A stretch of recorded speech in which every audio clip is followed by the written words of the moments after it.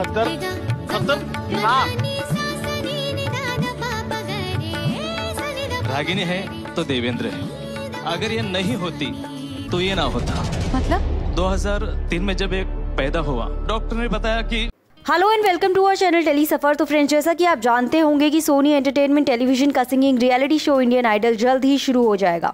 अब शो के प्रोमो में एक खास कंटेस्टेंट आई औरंगाबाद, महाराष्ट्र की रागिनी शिंदे, जो केवल पंद्रह साल की हैं। लेकिन उनकी आवाज़ में इतनी मेच्योरिटी है कि जजेस तो बहुत ही इंप्रेस हो गए। हालाँकि रागिनी के पेरेंट्स ने कहा कि रागिनी है तो देवेंद्र है। दरअसल 2003 में वो पैदा हुआ तो उसे एक बड़ी बीमारी थी, जिसके लिए डॉक्टर्स ने कहा कि वो वो सिर्फ़ 15 या 16 साल तक ही जी पाएगा। डॉक्टर ने बताया कि इस लड़के को एक बहुत बड़ी बीमारी है।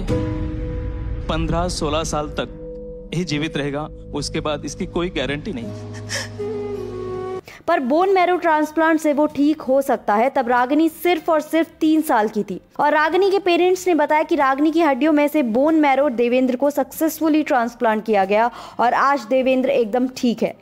इसके हड्डियों में से बोन मैरो निकाल रहे थे और ट्रांसप्लांट सक्सेस हुआ और आज मेरा बेटा आपके सामने खड़ा है और ये पूरा श्रेय मैं मेरी बेटी को दूँगा, जो मेरे घर में लक्ष्मी के रूप में आई और मेरा सारा जीवन बदल दिया। और कहीं ना कहीं उनके पेरेंट्स का मानना है कि रागिनी उनकी लाइफ में लक्ष्मी बनकर आई है। जब रागिनी है, तभी तो देवेंद्र है।